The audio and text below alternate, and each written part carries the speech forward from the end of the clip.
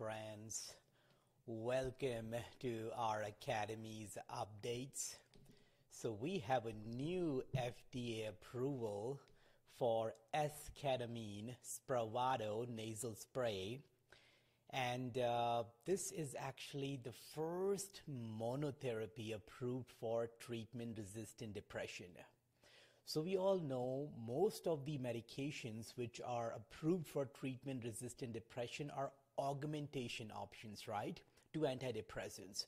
Um, but this will be the first FDA approval as monotherapy. And um, I will discuss this in these uh, uh, sections.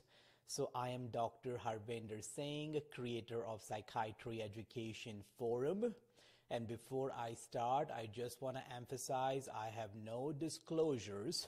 I have no um, um, pharmaceutical company uh, conflict of interest. Um, and we will discuss this topic in the esketamine FDA approval history. What are the total indications?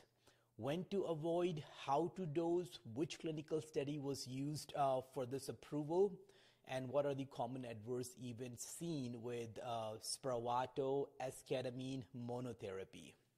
So let's begin with the first one, which is on January 21st, 2025. Johnson & Johnson announced that FDA has approved Spravato esketamine nasal spray for monotherapy in adults, not for children yet, for adults as the first and only monotherapy for major depressive disorder, primarily for patients who have inadequate response to at least two oral antidepressant. Now, this is really important. This is what the treatment resistant MDD diagnosis is. At least two oral, uh, different class antidepressant. That's the key here. Now, going at the Spravato esketamine's FDA approval history, so this one is in 2025 as monotherapy. But this FDA approval began in 2019 when it was first approved as an adjunctive treatment for treatment resistant depression.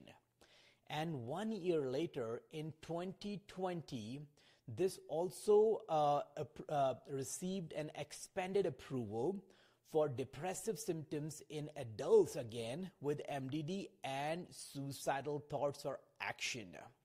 So in total, if you summarize this, sorry, if you summarize these FDA approvals, esketamine Spravato nasal spray is currently approved for first um, in adults with treatment resistant depression as monotherapy or as an adjunct to oral antidepressant. And this is also approved for depressive symptoms in adults with MDD with acute suicidal ideations or behavior, and this is as an adjunct with an oral antidepressant. But uh, the package insert very specifically mentioned that effectiveness in preventing suicide or reducing suicidal ideation or behavior has not been demonstrated. So if a person need admission, that should always be considered. Now, this is an FDA approval. Now, before we move forward, let's very briefly discuss where we, you should avoid this uh, treatment option, which is the contraindications. Uh, so the major contraindication is patients with aneurysmal vascular disease, including uh, thoracic or abdominal aorta, uh, or intracranial and peripheral arterial vessel um, involvement. And with patients with AV malformation, arteriovenous malformation, it's primarily due to the uh, increase in blood pressure impact of this uh, medication, which we will discuss in few minutes. And then uh, patients with intracerebral hemorrhage or at risk factors, avoid it. And obviously, if a patient is hypersensitive to esketamine, ketamine, or any of the uh, contents. Now, how will you dose this medication? As a monotherapy, the treatment guidelines are same as an adjunct, so no major changes here, but I will very quickly summarize this here. So before even you start dosing, you need to measure the blood pressure and you should repeat that in 40 minutes. That's when the peak uh, in hypertension uh, can happen. And uh, pulse ox because of the risk of respiratory depression. And then uh, very important instruction given uh, to patient is there should be no food intake for at least two hours before the dosing. And for liquids, 30 minutes. No liquids 30 minutes before the dosing. And if your patient is on nasal corticosteroids or nasal decongestant, please avoid that for at least one hour before the dosing. I'm not going into the detail how to dose it, but uh, uh, just uh, you can see the picture. Um, this is from the Johnson and Johnson. Um, this is the uh, 20, like every nasal spray is 28 milligram. And uh, after every spray, a patient should wait for at least five minutes before doing the next one because of uh, the absorption timeline. Now, let's start with induction. So, you did all that. There is no risk factors, no contraindication, no blood pressure concerns. Pulse ox is good. So, first four weeks here, week one to week four, you start with 56 or 84, and it's twice a week initially. And you all know that the two hour observation after every dose is a requirement and it should be given by healthcare professional. So uh, that's why we have the REMS program for esketamine. I will not go into that. You all already know about that. Now, after the induction at week four, you can even do the maintenance treatment, but the timing changes to once weekly for week eight and after that you can either continue once weekly or every two weekly depending on wh- how the patient is doing. But uh, it's really important to evaluate after four weeks to, to, to determine if there is any need for continuation of treatment. So this is a very basic overview of how to dose that now let's very briefly discuss which study was used uh, for this recent FDA approval for use of esketamine Spravato as monotherapy. And the study is uh, this one, NCT 04599-855. This is a randomized double-blind placebo-controlled multi-center study. I will not go into the detail of study, but I will, I will just outline the brief overview. So the participants uh, were all uh, who met criteria for major depressive disorder per DSM-5 and they all have failed at least two different, now this is really important, right? Two different antidepressants trial. And the mean age was 45. Most were 61% were females and most were white race, 86%. And uh, they were randomized in uh, 1 to 1 to 2 ratio. One was for 56 milligrams per Spravato, one was for 84, and then two were placebo. All were nasal sprays and they were given twice daily dosing for four weeks. So this is a 28 day study. And this is a uh, brief overview of the results, and I got this from the package insert. You can go there and read more. This, uh, the top line is the placebo. The second, the triangle here is the 56 milligram, and the dark squares here is the 84 milligram Spravato. And uh, here is the timeline day 2, day 8, day 15, day 22, day 28.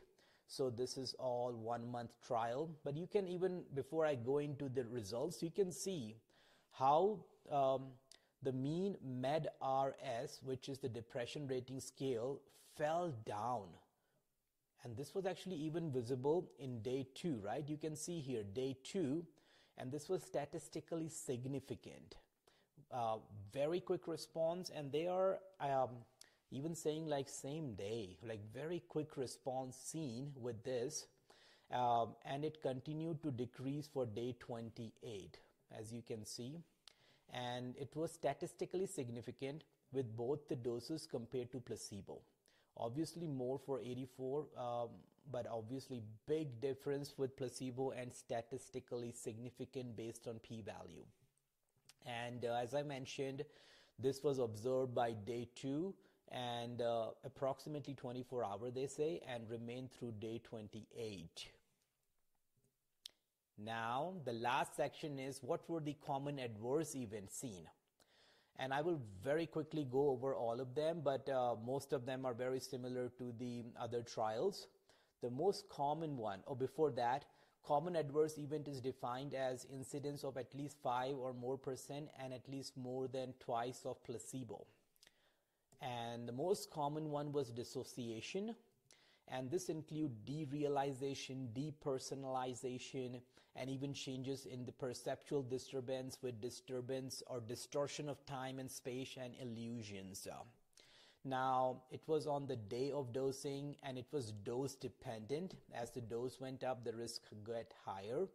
And this is one of the reason why that two-hour observation in the clinic um, in a, in a health, by a healthcare professional is a requirement and that's why REMS um, program came into picture as well. So this is the most common one, number one.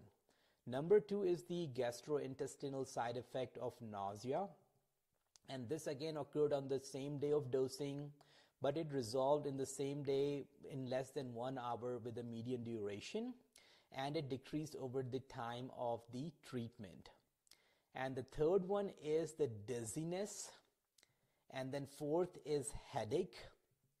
Fifth is anxiety, but this anxiety included terms like agitation, anticipatory anxiety, anxiety, fear, feeling jittery, irritability, nervousness, panic attack, and tension. So be mindful with your patients with comorbid anxiety disorders.